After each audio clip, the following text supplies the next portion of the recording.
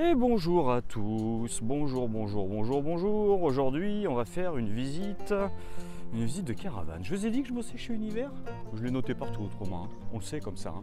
Allez, nous on est à Lande, à Clermont-Ferrand, en Auvergne. Faites une croix hein, sur la, carte de France, on est pile poil au milieu. Allez, une caravane, une caravane donc de chez Sterkman, fabrication française, un groupe Trigano. Et ben écoutez, c'est la Easy Comfort 496 PE Kids. Et oui, Kids, parce que vous allez voir, c'est une 6 places. 6 places couchage et 6 places en général. Alors, je vous propose de faire le petit bandeau technique et après on fait la visite. Allez, c'est parti. Donc on a une caravane qui va faire 6,70 m, tout compris avec la flèche. Nous sommes à 5,60 sans la flèche. Hauteur extérieure de 58, à l'intérieur 1,95. La largeur fait 2,30 et le PTAC est de 1200 kg. Mais euh, on peut, nous, le modifier juste avant de faire la carte grise, 1300 ou 1500 kg pour gagner de la charge utile. Ça, c'est possible, il suffit de nous le demander. Ça sera offert gracieusement par la maison. Euh, on, est en roue de, on est en roue de 14 pouces avec jante acier et il y a une roue de secours. Et puis après, tout le reste, eh ben, écoutez, je vous propose de le regarder ensemble. Ça sera plus intéressant. C'est parti. Pour savoir si avec votre petite voiture, vous pouvez tracter cette caravane, rien de plus simple. Je vais vous mettre à l'écran, moi, un document que j'ai fait avec mon petit Photoshop. En fait, c'est tout simple. Vous prenez votre carte grise, vous allez chercher le F3 PTRA, vous soustrayez le F2 PTAC, et comme ça, vous aurez la masse maximum que vous pouvez tracter avec votre voiture. Donc F3 moins F2, et ça vous donne le poids que vous pouvez tracter. Après, c'est aussi simple que ça, je vais vous expliquer. Déjà, au-delà de 750 kg, il va falloir une carte grise. Hein, si ça fait euh, moins de 500 kg, c'est pas la peine. Mais au-delà de 750, il vous faut une carte grise spécifique pour cette caravane. Si, le PTRA, c'est-à-dire que le poids caravane plus voiture est inférieur à 3500 kg, eh bien écoutez, le permis B va suffire. Si par contre vous êtes entre 3500 et 4200, ce qui risque d'être le cas, il vous faudra passer une petite formation de 7 heures qu'on appelle le B96. Et après, si c'est supérieur à 4250, mais là on est peu concerné par rapport à cette caravane, autrement vous avez une voiture énorme à l'américaine, il faudra le permis BE, mais là ça c'est une autre affaire. Donc en gros, vous prenez le F2 de votre carte grise, vous rajoutez 1200 kg, et si vous dépassez pas 3 tonnes 5, c'est même pas la peine de faire la formation, et c'est parti sur nos jolies routes de France. Allez, on a des belles baies qui sont double vitrage traité anti-UV, et le parement, lui, est tout polyester. Au-dessus, on est en polyester renforcé anti-grêle. Châssis Galva, on a juste là l'AKS 3004, c'est-à-dire l'anti-lacet, vous savez, pour que votre caravane reste le plus dans l'alignement de la voiture quand vous conduisez, qu'elle ne fasse pas un petit peu le roulis derrière. Un grand coffre avant, je vous propose de le visiter tout de suite. Et voici, donc là on a le récupérateur d'eau grise de 30 litres. Vous savez, c'est le récupérateur sur roulette. Généralement, on l'amène à l'arrière de la caravane parce que la sortie est juste en dessous. Vous savez, on vient le mettre ici. On enlève le bouchon, on le fait rouler, on le met au niveau de, en fait, vous savez, les, les eaux grises, quand vous servez de la douche ou de l'évier, ça vient couler directement, il n'y a pas de tout à l'égout. Donc comme ça, nous, on a 50 litres d'eau propre à l'intérieur, et ça, c'est un récupérateur 30 litres. Je vous montre la sortie extérieure. La voici, vous voyez, vous avez cette sortie, donc vous venez mettre ça juste là, et puis quand c'est plein, bah, écoutez, c'est tout simple. Vous le prenez avec la poignée, les roulettes, et vous l'amenez au sanitaire pour aller vider vos eaux grises, tout simplement. On fournit également la manivelle pour les stabilisateurs. On a un double emplacement bouteille de gaz, donc propane, 13 kg comme sur les camping-cars. Et là, notre roue de secours qui est déjà présente, qui fait partie de la dotation confort avec le support spécifique. Vous avez remarqué évidemment qu'on a une grande baie au niveau du couchage, ce qui n'est pas toujours le cas. On retrouve une porte double pan, vous savez c'est très sympa, c'est pour que madame vous fasse euh, au revoir avec sa petite main quand vous partez acheter les croissants le matin. Ouais, ça met la bonne ambiance en vacances. Juste ici, eh ben oui, c'est notre cassette, notre cassette toilette comme d'habitude. Toilette chimique, vous savez, on met du, bleu, de l'aquachem, pour pas que ça sente et pour liquidifier toutes les matières. Donc vous avez, oh là là, une grande cassette, tête Ford. Donc là, vous en avez facile pour 3-4 jours, voire un peu plus, parce que si les sanitaires sont pas loin, vous n'allez pas forcément l'utiliser à chaque fois en journée. Et là, vous avez le remplissage en fait de la chasse d'eau. Donc là, vous remplissez l'eau pour la chasse d'eau. Vous avez juste ici un petit tuyau transparent avec le niveau qui nous dit quand c'est plein, et après vous pouvez vous servir de vos toilettes. À l'arrière, vous voyez, on a deux barres de pré-équipement pour les portes-vélos, donc c'est super simple. Si vous voulez rajouter un porte-vélo, il n'y a aucun souci. Au-dessus également, l'éclairage de haut vent donc c'est une barrette LED qui est bien présente. Et derrière, on a des surprises du fait qu'on a des lits superposés, comme c'est une Kids. Et bien regardez, vous pouvez ouvrir ça. Allez, voici. Et là, celui qui a le lit du bas, ben, il est plutôt pas mal. Et bah ouais, il est plutôt pas mal, ce qui peut bouquiner la tête au soleil tranquillement. Et surtout, vous pouvez en fait relever ça. Vous pouvez relever la totalité pour faire une super grande soute si vous avez qu'un seul enfant. Voilà, si le deuxième n'est pas encore là. Tiens, regardez, j'en profite. Là, vous avez le trumatherme électrique de 5 litres hein, qui va venir lui vous permettre de prendre une douche chaude ou d'avoir de l'eau chaude au, lavabo. Donc ça, quand vous êtes branché à l'extérieur, eh ben, ça va chauffer automatiquement 5 litres d'eau avec les petites vannes de vidange qui sont juste ici. J'en profite que là c'est plus pratique, on a le petit filet pour ranger son smartphone ou sa, sa BD. Et là vous avez, donc ça c'est du tactile, quand on appuie dessus ça s'allume, mais là j'ai pas branché le général. Et comme d'habitude au niveau des baies, hein, vous avez la moustiquaire et l'obturation. Vous avez les deux, il n'y a pas de souci. J'ai pris mon mètre, j'ai mesuré, on a 120 de haut, 120 pour la hauteur, on a 185 pour ce qui est de la longueur totale et on a 85 de large. Donc ça vous fait quand même une euh, très très belle soute. Hein. Vous voyez en fait le lit, il y a un petit blocage là et quand vous en avez terminé, bah, vous redescendez le support et le matelas qui est passé au-dessus, vous le remettez en bas. C'est aussi simple que ça. Et vous avez vu ce qu'on est obligé de faire maintenant Bah ouais, est-ce qu'on a une vidéo avec trois costauds, là, trois barbus, qui nous embarquent de caravane. bah ouais, que je pourrais pas vous vendre cette année, j'en suis désolé. Donc du coup maintenant, on a mis une super grosse alarme, on met en plus des sécurités, je peux vous dire, ils peuvent vomir, ça va sonner partout. Allez, pour finir avec l'extérieur, ici on retrouve le remplissage de nos 50 litres d'eau propre, comme d'habitude. Et là, le branchement du P17 pour alimenter toutes les prises de 120 et euh, bah, après tout ce qui est pompe à eau, ce qui est chauffe-eau, éclairage à l'intérieur de celle-ci. Et le branchement c'est du 13 broches, hein. si vous en avez moins, bah, ça va fonctionner au niveau des feux, des clignotants, etc. Mais vous n'aurez pas le plus permanent pour le frigo, c'est la grosse différence. Ah oui, dernière chose, j'allais oublier, on a le portillon. Eh oui, on a le portillon qui est juste là et qui nous permet d'accéder à la deuxième grande soute. C'est quand même, au niveau rangement, on est vraiment pas mal. Hein.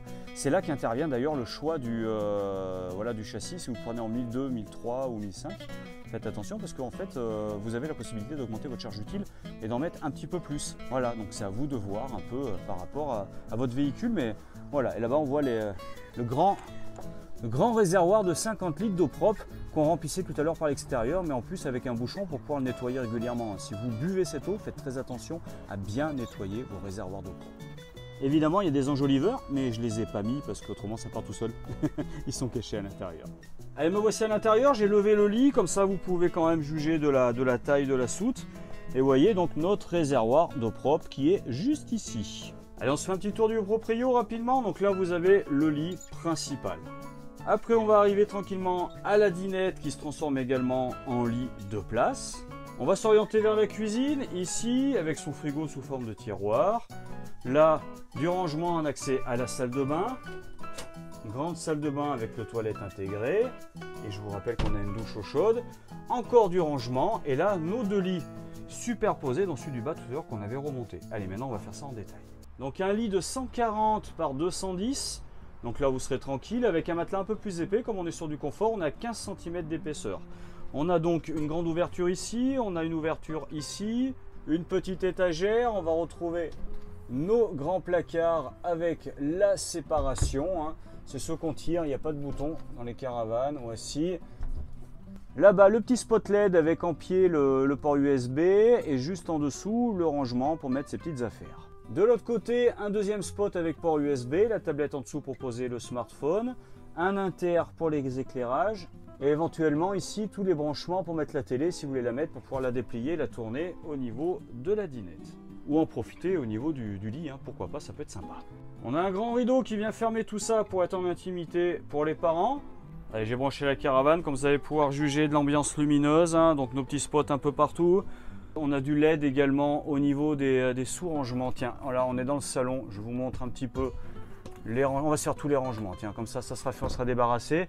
On a un plafonnier, via ce bouton, on appuie pour allumer, puis après on a le variateur. Comme ça, vous pouvez varier l'intensité lumineuse, vous voyez, pour faire une ambiance qui vous convient au mieux. Au niveau de la cuisine, un bandeau LED juste là, des rangements également, mais là, tiens, on a les étagères Alors on a un qui est sans étagère et un qui est avec étagère. On va se faire ça là, le grand placard. Voici. Ah c'est bien ça. Ça c'est bien. On a plein de petits rangements comme ça. Chacun peut mettre ses affaires séparées. Ça c'est vraiment tip top.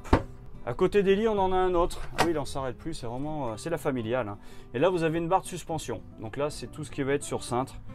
Euh, non, c'est vraiment pas mal du tout. On a le caché là-bas, ça c'est le complément pour le lidinette. Mais caché là, vous voyez, on a le bouton. Alors, je vais essayer de bloquer ça. Le bouton pour le chauffe-eau. Et ça, c'est le disjoncteur électrique. Au niveau de la cuisine, on va retrouver. Alors, il faut que j'appuie sur le bouton, Richard. Voilà. Un grand tiroir avec le trieur à couvert. Ça, c'est. Alors qu'une seule main, ça va être costaud. Ouais, j'y arrive, super. Ça, c'est le frigo de 150 litres. Donc, qui est full électrique. hein, Tout électrique. Et là, normalement, alors, on a la partie congèle pour les glaces et les glaçons. C'est ce, petit tiroir supplémentaire. Et ça, on va dire que c'est le, le petit bac à légumes. hein. Ça fait pas beaucoup de légumes, on est d'accord. C'est pas bien ça.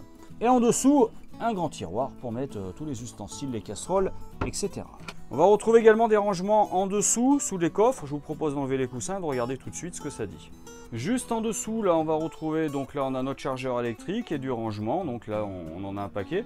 Et maintenant, on va regarder sur celui d'à côté, là, voir ce que ça dit, si c'est aussi bien. Bah écoutez, bonne nouvelle, on en a encore plus. Ça, c'est la barre de renfort pour faire le lidinette. Mais on a encore plus de rangement en dessous. Donc là, bon, moi, je pense que logiquement, madame sera contente. Voici ce que ça donne quand on, fait le, quand on met en place pardon, le, le. Donc le lidinette, il fait 110 par 170. C'est là que le petit complément prend toute euh, son utilité parce qu'on ne peut pas mettre les, deux dossiers, c'est trop large. Mais donc vous avez un lit qui est quand même euh, très confort. Donc on peut dormir à deux places là-bas, deux places ici, deux places là. Donc on est bien finalement à six places couchage. hein. Les lits superposés font 85 par 210. Donc vous avez là le lit du haut avec son ouverture. Bon bah il n'y a pas de bien spécifique. On va regarder. Il a pareil son petit filet et son éclairage tactile. Et le lit du bas on l'a déjà vu ensemble évidemment. Vous avez le rideau, voilà, comme ça. Pour qu'ils s'endorment plus vite, c'est comme les oiseaux. On met un torchon dessus, il n'y a plus de lumière, ils s'endorment. Là, J'ai vu en mettant le, le rideau qu'on avait une prise de 120 qui était cachée là, au pied des lits des enfants. Bah écoutez, pour recharger l'iPad ou pour mettre un, un ordi avec un dessin animé, pourquoi pas. Et là, vous avez l'emplacement pour monter via avec l'échelle, l'échelle qui est cachée juste en dessous, donc elle sera bien livrée avec. Il n'y a pas de souci. Allez, au niveau de la cuisine, on va retrouver trois feux. Euh, bon, bah ça va très très bien. Ça, avec pareil, voilà, là, eau chaude, eau froide. Quand on a terminé tout ça, c'est du dométique, on le baisse. Ça nous fait voilà, un peu plus de, de place pour travailler. On a l'ouverture ici, avec évidemment à chaque fois, hein, on va retrouver moustiquaire et obturation. Pas de, pas de haute, par contre on a encore là, super, une prise de 120. La salle de bain les amis, la salle de bain, donc le bac à douche, que vous soyez sur la, la dotation de base, c'est-à-dire la easy, ou si vous passez sur la confort avec un peu plus de choses, c'est-à-dire que là on a l'eau chaude, hein, on a le chauffe-eau qui a pas sur la easy, sur la confort, donc c'est plutôt pas mal. Donc de toute manière vous aurez toujours le bac à douche, bac à douche avec l'évacuation ici, notre toilette chimique, bon c'est le même principe que dans les camping-cars, avec euh, ben, un voyant lumineux sur la gauche qui va venir vous prévenir quand la cassette sera pleine. On a le rideau qui est présent pour protéger les toilettes si vous voulez pas les mouiller, hein, mais bon, autrement c'est surtout les parties bois qui sont là. Une baie donc qui est dépolie pour préserver votre intimité. Un petit lavabo, voilà, avec euh, les anneaux, voilà le, le perchoir à perruche, juste là. Et puis un, salut les amis, un miroir pour pouvoir se faire une beauté.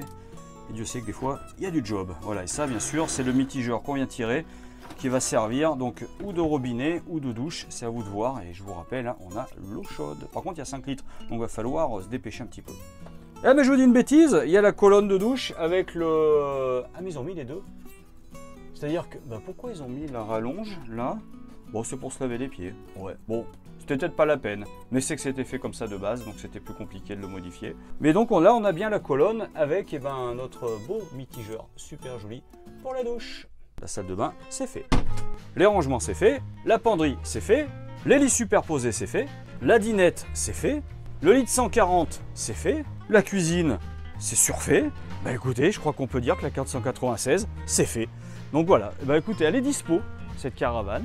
Vous pourrez la trouver donc, chez Univers Clermont. Donc on est à Lande exactement, ça touche Clermont. C'est à côté, on est juste en face de Brico Dépôt là-bas. hein. D'ailleurs, j'en appelle au service communication de Brico Dépôt s'ils veulent sponsoriser mes vidéos.